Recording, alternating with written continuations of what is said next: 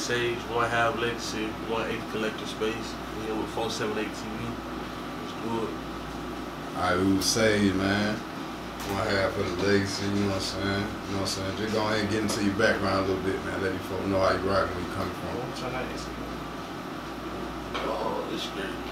Is that this great? Basically, bro, when it came, I'm from Bloomfield, so like, I'm I'm a chill person. Like, I never really thought I was gonna be doing music and shit, but like, all people around me were just like, you sound good, you got a rapper voice, and I always good my words, so they like, they like, you need to rap. So I literally just started rapping like it wasn't no, I'm a, I planned it now, like, it's just somebody decided to do. So me and Martel, just, he the one who like really was like, we need to do this because we just had so much like different connection before that. He was like, bro, we, we do this together, shit gonna rock. So I was like, okay, I just did it. We legacy. We just literally like what I tell you it was no planning, we literally first thing we did, we we was write like every night and we recorded this out called BandLab. And then basically we would perform our song, we'll get our speaker, we'll go downtown, pop the street, stand out there speaker in the mic, and just perform them bitches off the phone, like and freestyle. And like get people to come freestyle too. Like basically like how I used to be back in the day hell when hip hop started just music out in the open and that shit got shut down, but you know what I'm saying, legacy. So we still, you know what I'm saying, eventually made our way around. And now we here.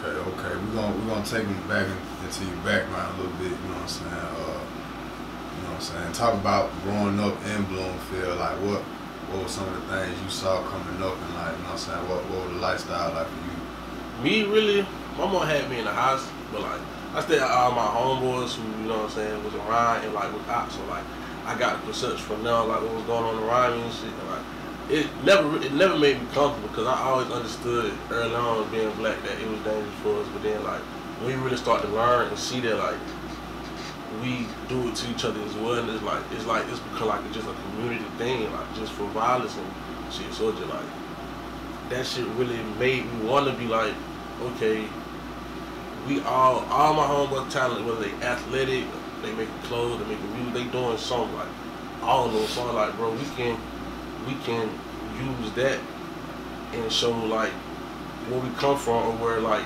the shit we observe in that background like it don't really make us like we can change the narrative because like that was our background coming up but it don't got to be the background for the next generation type shit so like looking back on that it's just like different experiences like friends losing friends me losing friends whether it's just to violence or accidents from violence it was just always like I never understood it because we were so young so it's just like I always thought like that was like that was supposed to be something that happened when you got older type shit. So it just never really like understanding it, but like still understanding at the same time. Like I just knew we weren't supposed to be a part of that. So Yeah.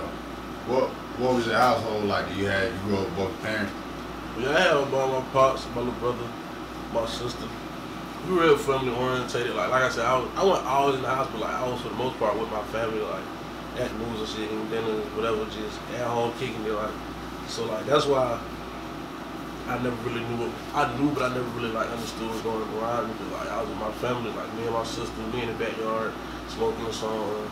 Me and my partner go to a movie or something. Like or I'm at I'm at school or practice or something uh, or a game or something. So it's just like I was always with my family. So like.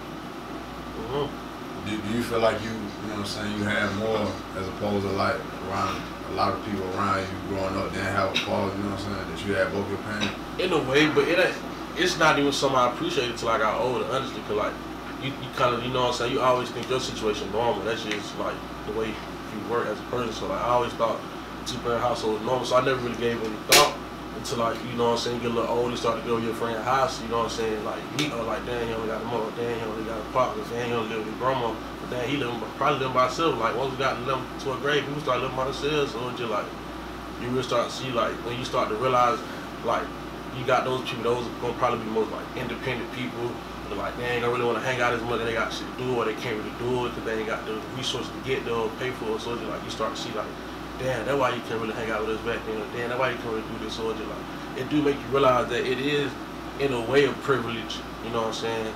To have a parent, it's, it's a blessing, but it's like you also see other people who made the best of their situation too.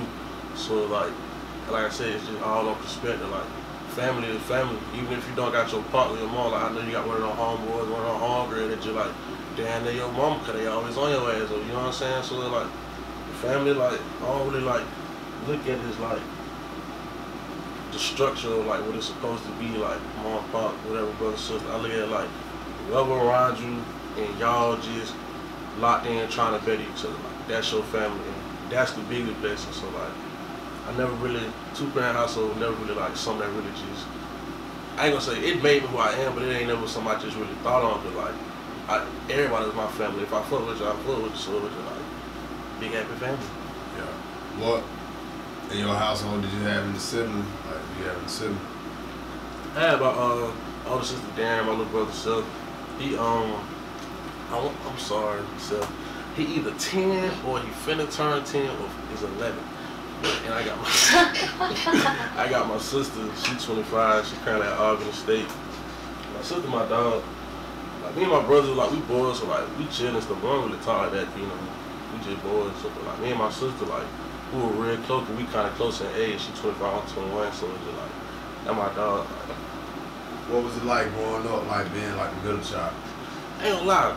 The room about being a middle child and being kind of ignored is very real. Like, a lot of my life was like, I ain't gonna say just becoming a back burner, but like, the age gap. So you like, you got my my sister finna go to college, you know what I'm saying? So my mom gotta get ready to pay for that shit. Then you got my little brother, he only like fucking what, two, four. So like, you gotta really take it. So like me, I'm just doing like I'm like I'm like 10th grade, so like I'm not grown, but like I can cook my own food and shit. Like I ain't gotta remind my mom to take wake me up for school and shit like that. So like being the middle child, like you really kind of just like you got the family. Like they did, they don't not fuck with you. It's just like they got everything going on. So it's just like it, it's somebody I got used to that shit quick.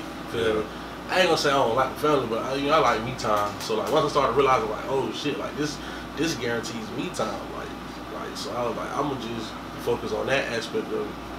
But uh-huh. shit can get lame sometimes.